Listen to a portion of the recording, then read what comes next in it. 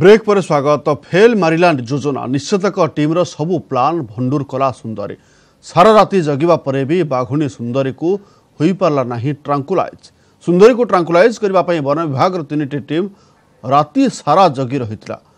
କମୁରୀ ଗାଁ ନିକଟରେ ଜଙ୍ଗଲରେ ପ୍ରାୟ ଛଅଶହ ବର୍ଗମିଟର ଅଞ୍ଚଳକୁ ଟାର୍ଗେଟ୍ ଏରିଆ କରିଥିଲା ବନ ବିଭାଗ।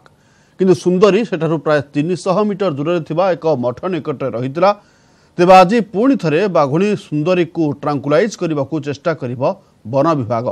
ସେପଟେ ପ୍ରଜା ସୁରକ୍ଷା ସମିତି ଚେତାବନୀ ଦେଇଛି ତୁରନ୍ତ ବାଘୁଣୀକୁ ସ୍ଥାନାନ୍ତର କରାନଗଲେ ଆନ୍ଦୋଳନକୁ ବ୍ୟାପକ କରାଯିବ। ଏଥିସହିତ ସୁନ୍ଦରୀକୁ ଟ୍ରାଙ୍କୁଲାଇଜ୍ କରିବା ପାଇଁ ସ୍ୱତନ୍ତ୍ର ତାଲିମପ୍ରାପ୍ତ ନିଶ୍ଚିତକ ଟିମ୍ ପଠାଇବାକୁ ସମିତି ପକ୍ଷରୁ ମୁଖ୍ୟ ଶାସନ ସଚିବଙ୍କୁ ଚିଠି ଲେଖାଯାଇଛି। ଏହାସହ ପୁଲିସର ମାତ୍ରାଧିକ କାର୍ଯ୍ୟାନୁଷ୍ଠାନକୁ ବନ୍ଦ କରିବା ଲାଗି ପଦକ୍ଷେପ ନେବାକୁ ଚିଠିରେ ଅନୁରୋଧ କରାଯାଇଛି।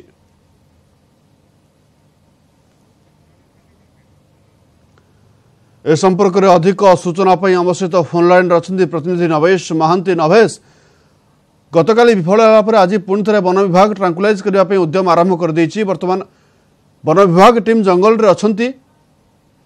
ଦେଖନ୍ତୁ ଲକ୍ଷ୍ମୀ ଆମେ ବର୍ତ୍ତମାନ ବନ ବିଭାଗ ଟିମ୍ ସହିତ ଅଛୁ। ତେବେ ଯୋଉ ମଠ କଥା କୁହାଯାଉଥିଲା ସେ ମଠ ଉପରେ ହିଁ ଆମେ ବର୍ତ୍ତମାନ ଅଛୁ। ମଠଟା ଆକ୍ଚୁଆଲି ଗୋଟେ ପାହାଡ ଉପରେ ଅଛି ଛୋଟିଆ ପାହାଡ।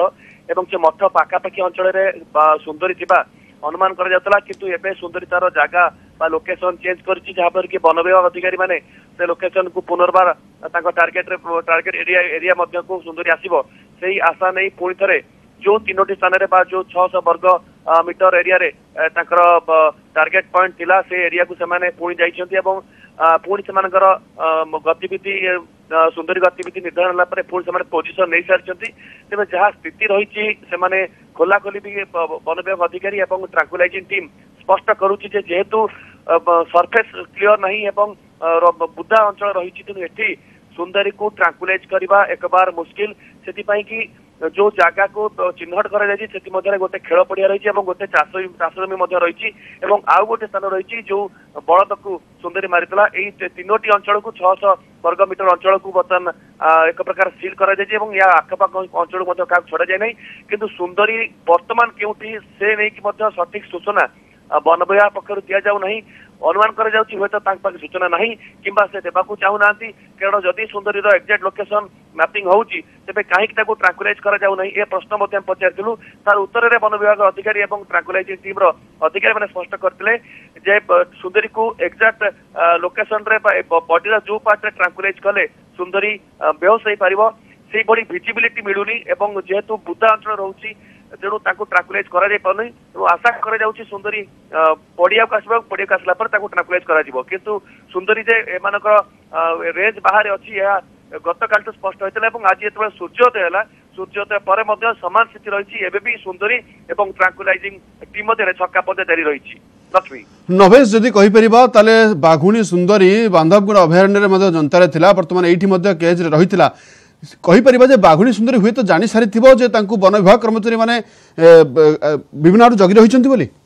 ବିଲକୁଲ ବିଲକୁଲ ସଠିକ ପ୍ରଶ୍ନ ପଚାରିଛନ୍ତି। ବାଘୁଣୀର ଆକ୍ଟିଭିଟିଜ ଯାହା ରହିଛି ଏବଂ ଯେତେବେଳେ ବାଘୁଣୀ ବେକରେ ଲଗାଗଲା କଲାର ମିଟର ଲଗାଗଲା ସେବେଠାରୁ ହିଁ ବାଘୁଣୀ ବେଶ ଆକ୍ଟିଭ ଅଛି। ଏହା ସହିତ ଗତକାଲି ପାଖାପାଖି ଗୋଟାଏରୁ ସାଢେ ଗୋଟାଏ ମଧ୍ୟରେ ଯାହା ଟ୍ରାଙ୍କୁଲାଇଜିଂ ଟିମ୍ର ଅଧିକାରୀମାନେ କହୁଛନ୍ତି ସେମାନେ ବାଘୁଣୀ ଠାରୁ ପାଖାପାଖି ପଚାଶ ମିଟର ଦୂରରେ ଥିଲେ ଏବଂ ବାଘୁଣୀକୁ ଦେଖିଛନ୍ତି ବାଘୁଣୀ ମଧ୍ୟ ସେମାନଙ୍କୁ ଦେଖୁଛି।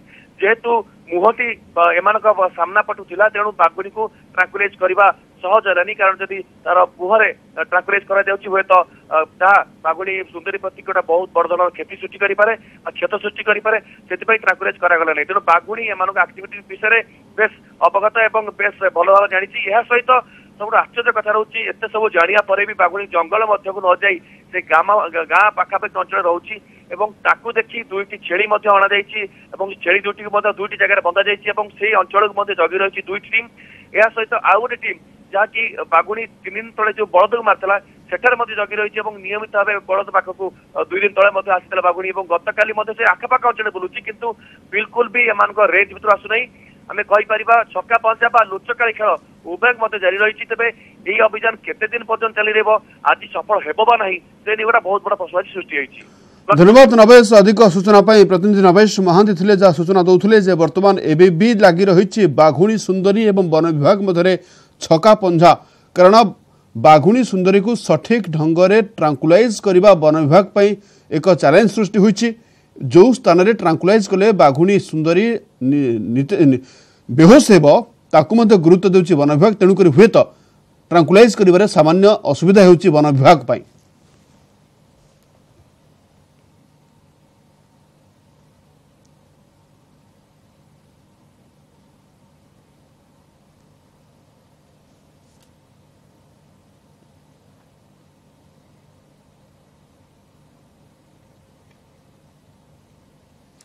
ପରବର୍ତ୍ତୀ ଖବରକୁ ଆସିବା ବରଗଡ଼ ଜିଲ୍ଲା ଭଟଲି ବ୍ଲକ ନୀଳଜି ଗାଁ ଗାଁ ପାଖରେ ବହି ଯାଉଛି କୁଲିଆରୀ ନଦୀ।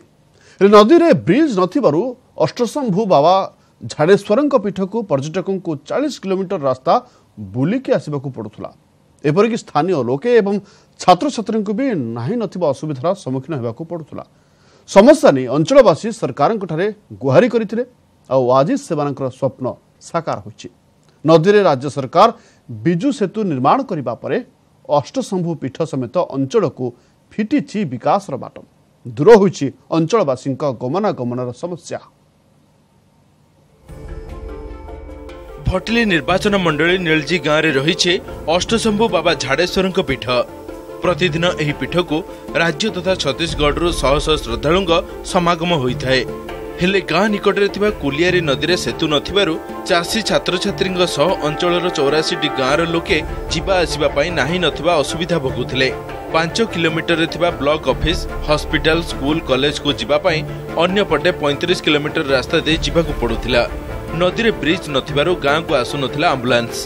ଅକାଳରେ ରୋଗୀଙ୍କ ଜୀବନ ଚାଲିଯାଉଥିଲା। ଏଭଳି ସମସ୍ୟା ନେଇ ଗ୍ରାମବାସୀ ଜିଲ୍ଲା ପ୍ରଶାସନର ଦୃଷ୍ଟି ଆକର୍ଷଣ କରିବା ପରେ ସାକାର ହୋଇଥିଲା ଦୀର୍ଘ ଦିନର ଆଶା ଓ ସ୍ୱପ୍ନ। ଯାତାୟାତ କଲେ ଲୋକର ବହୁତ ଅସୁବିଧା ହେଉଥିଲା। ସ୍କୁଲ କଲେଜ ବି ଅଛେ ପଢ଼ାପଢ଼ିକି ବହୁତ ଅସୁବିଧା ହେଉଥିଲା। ଏବେ ବ୍ରିଜ୍ ହେବାର୍ ଲାଗି ବୋଲିକିରି ଆମର ଲୋକଙ୍କର ସବୁ ସୁବିଧା ହେଉଛି। ଆଉ ଏଇଟା ଆମର ମନ୍ତ୍ରୀ ସୁଶାନ୍ତ ସିଂ ଏଇଟା ଲାଗିକିରି ବ୍ରିଜ୍ଟା ଆମର ବିଜୁ ସେତୁ ଯୋଜନା ପକା ହେଲା ଆଉ ବ୍ରିଜ୍ଟା ବି କମ୍ପ୍ଲିଟ୍ ସରିଲା। तार पर लोक जातायात करवा बहुत सुविधा हो विजु सेतु निर्माण हैमक बहुत सुविधा हो पारे आम दस मिनिट्रे भटली के आम पहुँची पार्छू मेडिकल केस है कलेज है कलेज आराम से छोट छुआ मैंने भी सैकिल भी पलेज जा पार्छन जेनटा कि ब्रिज ना हबार द्वारा जेनटा नहीं पार्थे से आदि आराम से होती किसी चिंता ना लगभार नदी बढ़ी कि कैनसी भी चिंता ना लगभार से बहुत भलसे हो पार्छे राज्य सरकार ग्राम्य उन्नयन विभाग पक्षर ତିନି କୋଟି ପଞ୍ଚଷଠି ଲକ୍ଷ ଟଙ୍କା ଖର୍ଚ୍ଚ କରି କୁଲିଆରୀ ନଦୀରେ ଶହେ ଦଶ ମିଟର ଲମ୍ବ ବିଜୁ ସେତୁ ନିର୍ମାଣ କରାଗଲା। ବାସ୍ ଏହାପରେ ବଦଳି ଯାଇଛି ଅଞ୍ଚଳବାସୀଙ୍କ ଗମନାଗମନର ଚିତ୍ର। ଏଣିକି ଅଷ୍ଟଶମ୍ଭୁ ପୀଠକୁ ବିନା କଷ୍ଟରେ ଯାଇ ହେଉଛି। ଦିନ ହେଉ କି ରାତି ଏବେ ସହଜରେ ଯାନବାହନ ଚଳାଚଳ ସହ ଅଞ୍ଚଳର ଚାଷୀମାନେ ସହଜରେ ପନିପରିବା ବିକ୍ରି କରି ଲାଭବାନ ହୋଇପାରିଛନ୍ତି। ହଁ ଆଜ୍ଞା ବହୁତ ବିକାଶ ହେଇଛି ଆଜ୍ଞା। ବହୁତ କିଛି ଇହାଦେ जेनटा आग, आगो दुई लोग चलो, रास्ता दे देखिए ना उसने छिना होगा ठेंट भी हो पार्ला लेकिन यहाँ ब्रिज हबार जोगू बारे ठेंट भी ना हबार बहुत लोग जास कर पारुन और बहुत विकास हो जाएगा। यार रास्ता भी सब सुविधा है जीवार आसबार ना रास्ता भी ठीक से नहीं था आज्ञा विजु सेतु योजना साढ़े तीन कोटी टाँह ब्रिज, निलजी और कुशरा मध्य है जहाद्वारा प्रत्येक हज़ार हज़ार लोग से अं, मानने रास्तार जावा आसवा कर जो रास्ता कि छमास बंद होता वर्ष सारा। आज बारमासिया रोड से परिणत होती ଯେଉଁଥିପାଇଁ ପ୍ରସିଦ୍ଧ ଶିବପୀଠ ନିଲଜିକୁ ଆଜି ଭକ୍ତମାନଙ୍କର ସୁଅ ଛୁଟିଛି। ବିଜୁ ସେତୁ ନିର୍ମାଣ ଦ୍ୱାରା ଦୂର ହୋଇଛି ଗମନାଗମନ ସମସ୍ୟା। ଚାଷୀ ଓ ଅଞ୍ଚଳବାସୀଙ୍କ ପାଇଁ ଫିଟିଛି ଅର୍ଥନୈତିକ ବିକାଶର ବାଟ। ବରଗଡ଼ ଜିଲ୍ଲା ନୀଳଜି ଗାଁରୁ ରଞ୍ଜନ କୁମାର ଦେବତା ନ୍ୟୁଜ୍ ଏଇଟିନ୍ ଓଡ଼ିଆ। पश्चिमब हावडा निकटस्थ सातरागाछी रे जङ्सनर फुट ओभरब्रिज्रे दडचकटा हुन्छ एुईज मृत्यु घटिति बेला जना गुरुतर भाव आहत हुन्छ ट्रेन रे चढिबाकुनी एही दडचकटा घटिला मृत पय सहायता राशि घोषणा गरिन्छ पश्चिमबङ्ग मुख्यमंत्री ममता बानर्जी मृतकं परिवारको पाँच लक्ष आहत लाख टंका लेखाए सहायता घोषणा गरिटार दावी ममता बानर्जी